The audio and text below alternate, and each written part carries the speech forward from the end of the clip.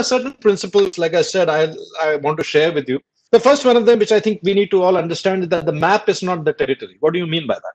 We run the world. We, we look at the world uh, in, in maps. So, for example, if you have to go uh, for the first time to London and you are going to travel in a London tube or you're going to travel in the Delhi metro uh, or, or even in the Mumbai uh, station, you need a map to do that. So if you're traveling in a tube, you need a map to tell you which line to take, which station to get down, which station to get on. And that map works really well inside the tube. But once you come out of the tube and you're on main ground, there the map has no relevance. It has completely no relevance because the, the, the map was good for navigating within the tube, but na- that map is not designed to navigate in the city. The, the stations aren't in the same line. The distances between the station and the alignment is not what it is there in the map, because in the map, you just need to get into the tube. Whereas on the street, that map is completely different. Your education is a bit like that. Your education is a map designed to teach you the needs of a, a society whose needs were decided about uh, three or four decades ago. So I think it's extremely important for uh, all of us who have who are studying, whether we are in third year, fourth year, or graduated or going to graduate, to know that our education is only a general line of direction. It is not detailed instructions. And and if you start thinking that there are detailed instructions, very often you will go wrong because you will be trying to navigate a a, a subterranean world with a subterranean map. It, will not work. So you need to be aware of that. I think we must remember the intent is to be entrepreneurial, not to become an entrepreneur. You can be in a regular nine to five job in a global MNC and you can be entrepreneurial there as well.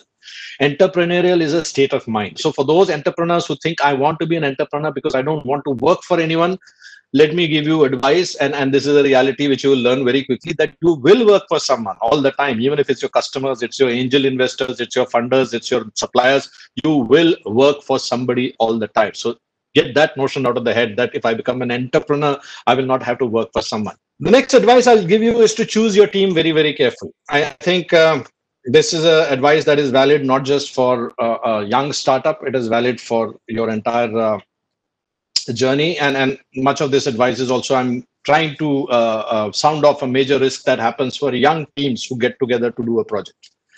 Uh, the projects do very well the teams do very well up to the time real money comes in.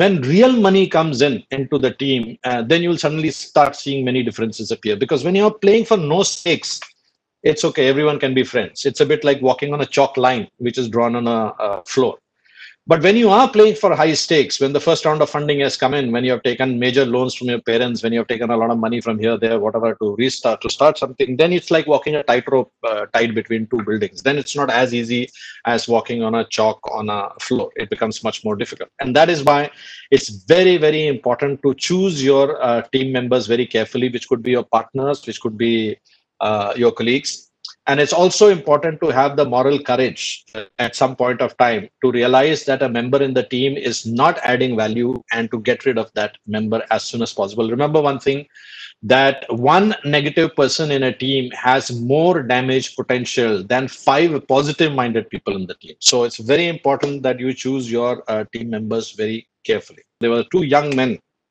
who had come from Harvard. They were Harvard graduates. They came from the US. They were working for Goldman Sachs. And they came over here with an intention of creating a general purpose website like a Rediff. Uh, so that time, Rediff was already there and Yahoo was already there. And there was a third one called INDYA, Indya.com, that was also going to be launched. And this one would have been the fourth one. So when these two young people were sitting, and this time I, I remember this was in Mahindra's because they were uh, coming to take advice from Mr. Anand Mahindra and my boss at that time, uh, Mr. Ulhas Yargop, because they were both ex-Harvard. And uh, uh, there was an investor there.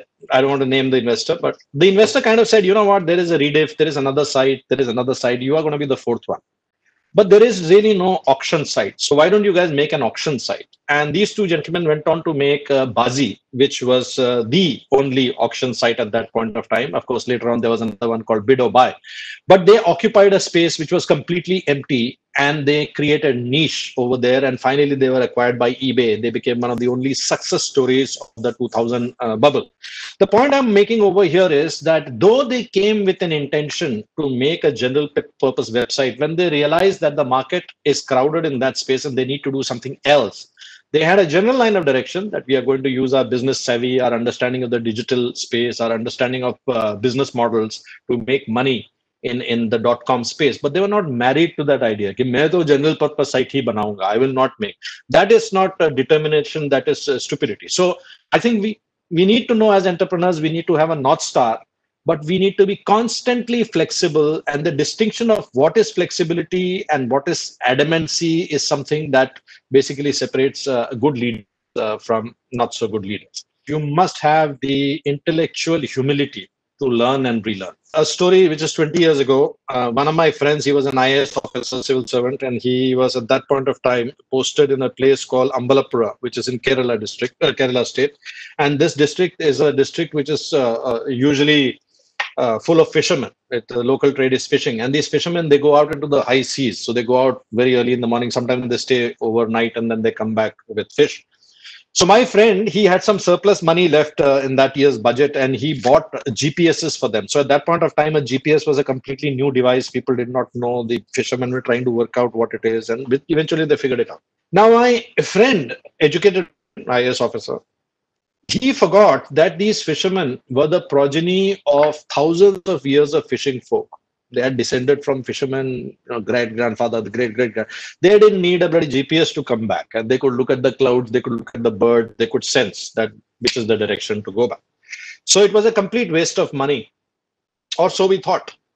But here is what the fishermen started doing: they would go to the fish market. They would take all the rotting vegetables, the rotting fish, this, that, all the garbage there. They would stuff it into gunny sacks they would carry the gunny sacks in their boats, take it to the high sea, and they would dump it in a place and mark that spot with a GPS. And the next day, when they would come back, they would find the place teeming with fish attracted by this garbage.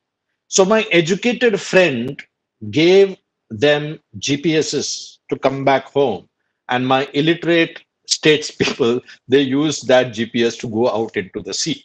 So many times we may have this intellectual arrogance. Optimistic people are lucky. This has been shown. Scientifically it has been proven. Why does what does that mean? It just means that when people have high morale when they are looking for silver linings in any situations then they will by definition see opportunities where our others will see threats. And this is a quality not just required in uh, entrepreneurs it is a quality required in all leaders. Leaders job is to be able to inspire. The leader's job is to be able to look at a gloomy situation leaders are required only in tough situation. If the situation is good market is booming up customers are snapping up your products companies are hiring like there's no tomorrow that time you manager can do the job an excel sheet can do the job a leader is actually required when there is doom when the markets are down when it seems like there is a, no light at the end of the tunnel there's another tunnel at the end of the tunnel. It's in that kind of environment that uh, inspirational leadership is actually required. So the next time you think that when the situation is good and I'm calm and fine then i'm okay. But when the situation goes uh, uh you know kaput time I'm, I'm not a good leader. That is the time where actually that good leadership is really required